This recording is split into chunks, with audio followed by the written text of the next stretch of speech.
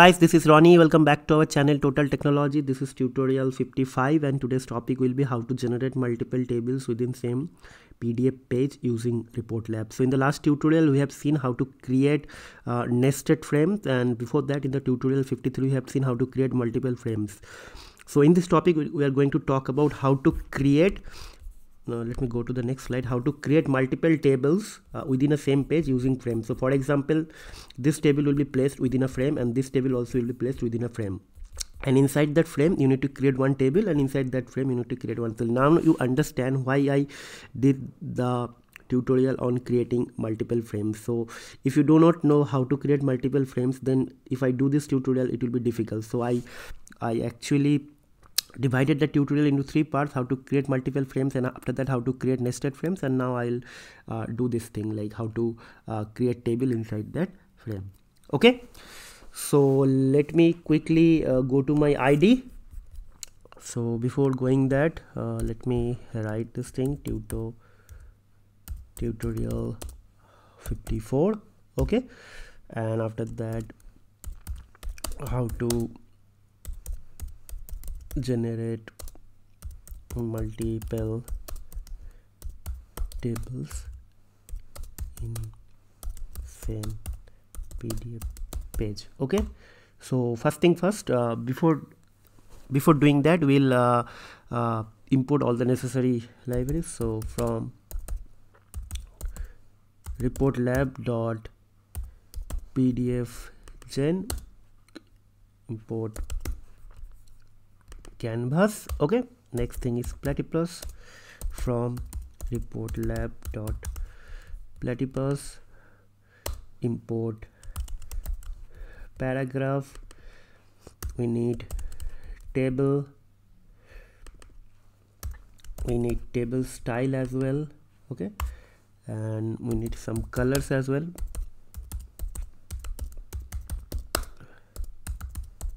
okay and we need some style.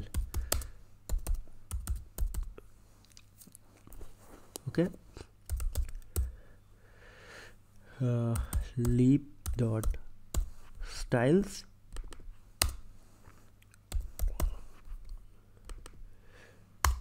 Okay. And after that let me create one canvas object. Okay.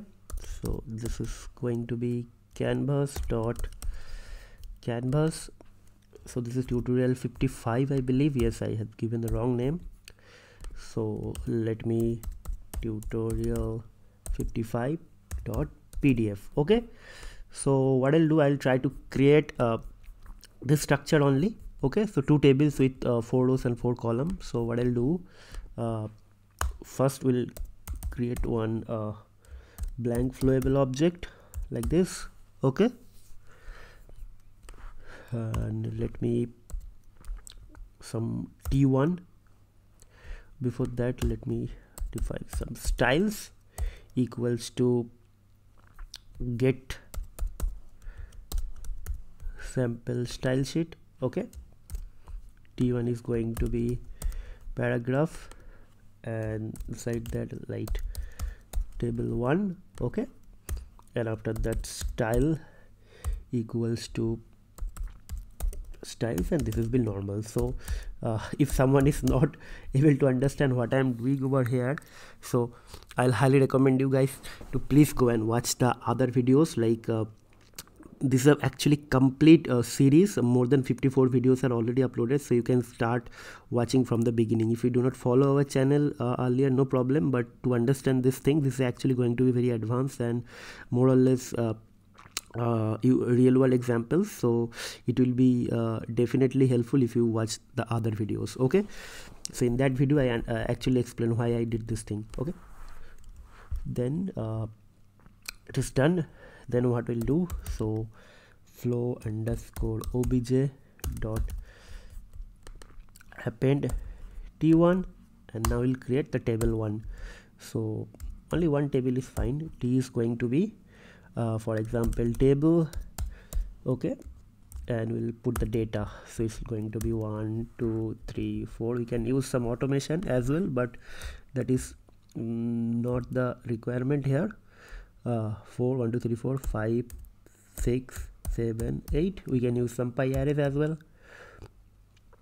Uh, 9 10 11 12 i believe uh, this is what we are expecting.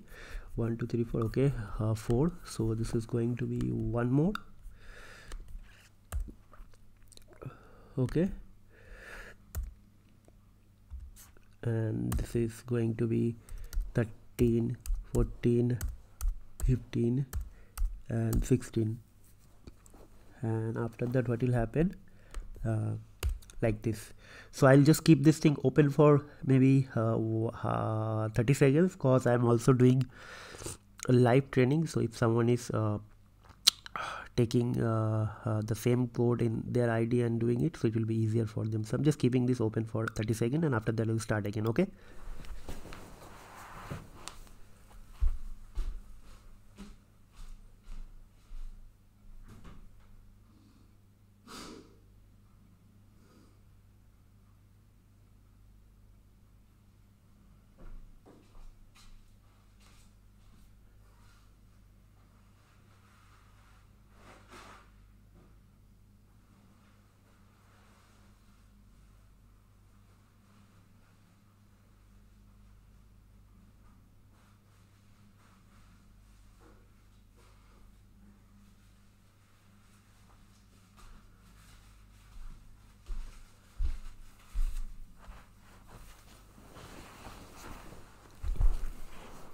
okay so this is done. The data part is done.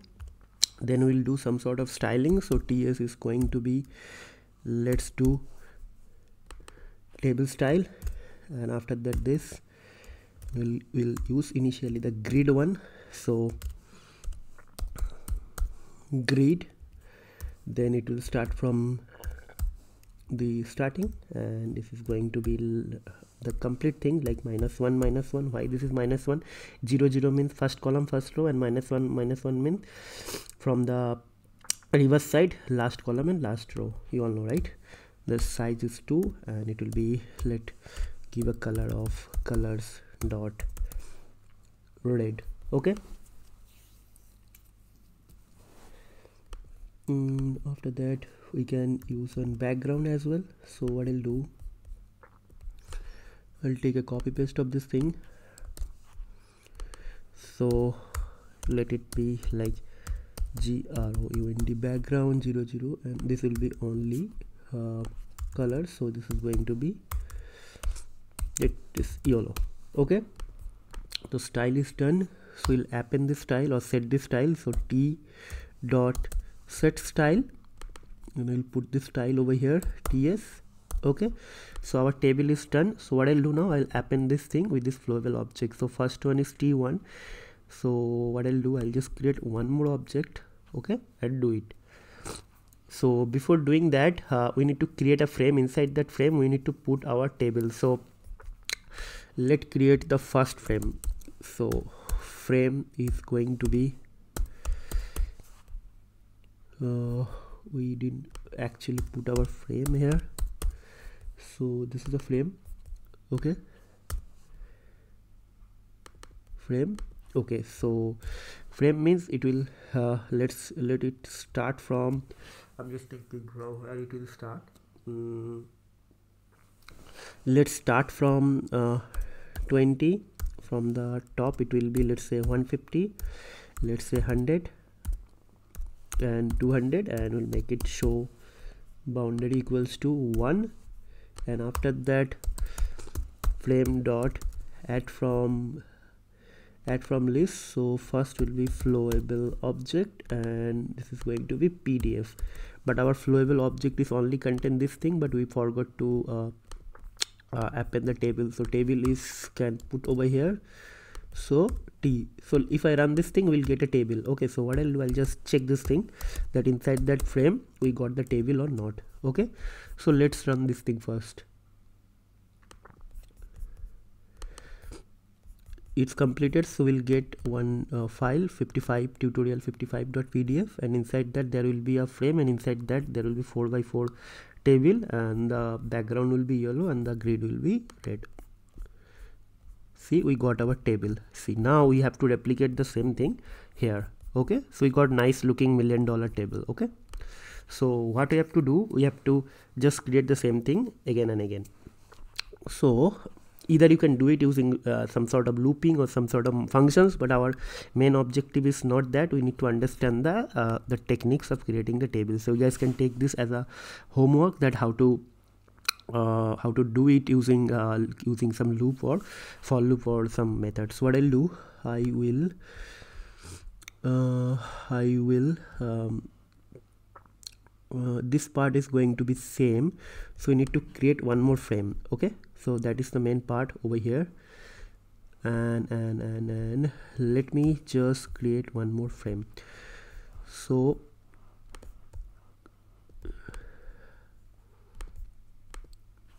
okay? And it will start from 20 it will go 20 so let it be like 130 150 120 is fine okay? Uh, flowable object now we need to add the flowable object again here. But this time flowable object the t but this time we'll use some other text okay? So what will happen now? Uh, so table 2 okay so this this is for the first table and this is for the second table. So see i'm just replicating this thing copy and paste. This is not the right way of doing it but just to make you guys understand how to create the multiple tables i'm doing it but you can do it using some sort of for loop or some sort of function. They need to pass this dimension as a list and the text value as a string. Okay? We already discussed this in our last tutorial. See we got this thing. So you now understand like this is very simple now what will happen? I need to only the copy paste this thing. So when you are going to use loop so now you understand you have to only consider this part only. That's it. So every time you have to change the table name or you can pass the table name as a string value and you need to change this dimension. So now what will happen? It starts from 20 and it will go until 100 so it will capture uh, the uh, in this direction it will capture until 120 so i just start with 130 so now it came until 100 position from here. So it is 230 so what i have to do? I have to write here 240 remaining things are going to be same. Only i need to change table 3 that's it. Simple. So what will happen now? If i run this thing see i get the same dimension same uh, length table. Everything is same.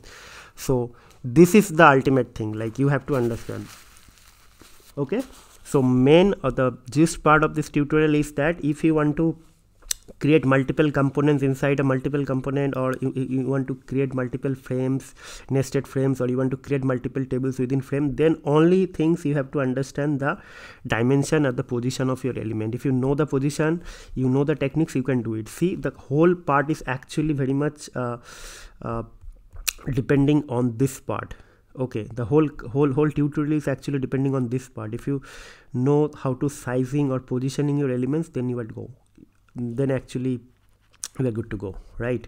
See it start from 20 it go 100 so i just put it 130 here. So next element will be definitely 100 plus 130 then it will place will be placed in the left hand side. So i just keep it 240 but from lengthwise it is always same right? Because it will be in the same height. So I didn't change this part. I only changed this direction x, x axis direction okay? So I hope you guys enjoyed the tutorial but uh, what I'll do let me check if I am able to uh, copy paste this thing but I'm not sure whether I'll be able to do it or not. So let me try thing. Let me try here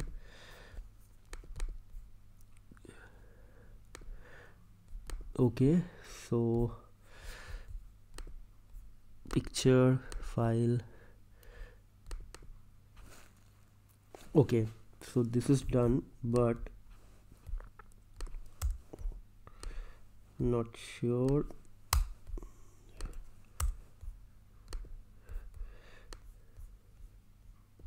But not everything came actually. This is let me check. Hmm, not everything came actually so probably I can do this thing. Okay so it is not the right way of doing this thing. Rather I can uh, just uh, let me just check. Let me what I'll do I'll just take a copy paste of this thing. New slide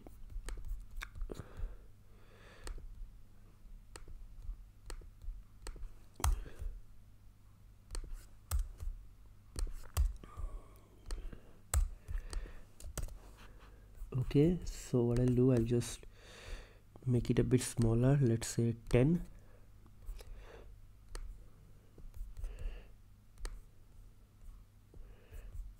okay. And I'll change the color from no color to probably I can make it black. Yeah looks nice now. Maybe I'm not sure. You guys have to give me the feedback. I can make it 12 yeah it looks nice. So I have uh, pasted the whole code but don't worry guys I'll upload the source code as a separate github repository uh, file and I'll upload and then I'll, I'll, share the link okay?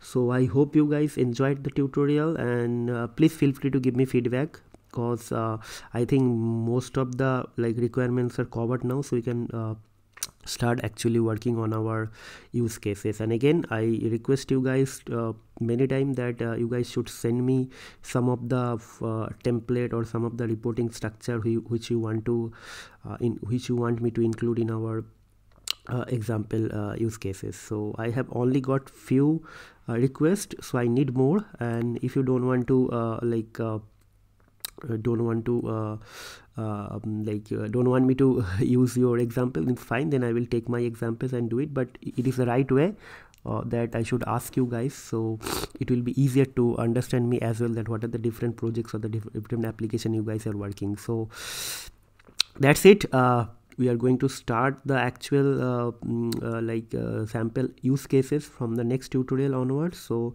i'll highly recommend you guys to go and watch all the tutorials try to do some practice or else it will be very difficult because in that time i'm not going to explain or actually will not be able to get that much time to explain each and every line. So we'll directly uh, have the sample template and from the temp sample template we'll try to derive our code and from the code we'll get the output. So all our uh, time will be uh, spent on uh, designing the structure. We're not going to explain the uh, uh, PDF report lab components okay? So that is why I'm asking you guys to do some sort of practice. So that's it guys. We'll see you in the next video. But before ending this tutorial please feel free to send me uh, feedback suggestion or if you have any doubts you can also reach me out. If you want me to include some other tutorial please feel free to write me.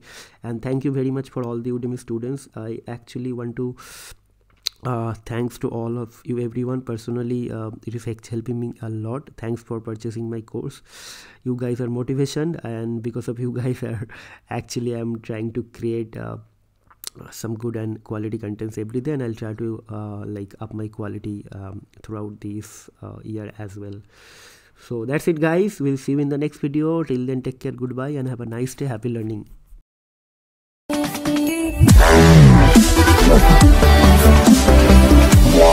Thank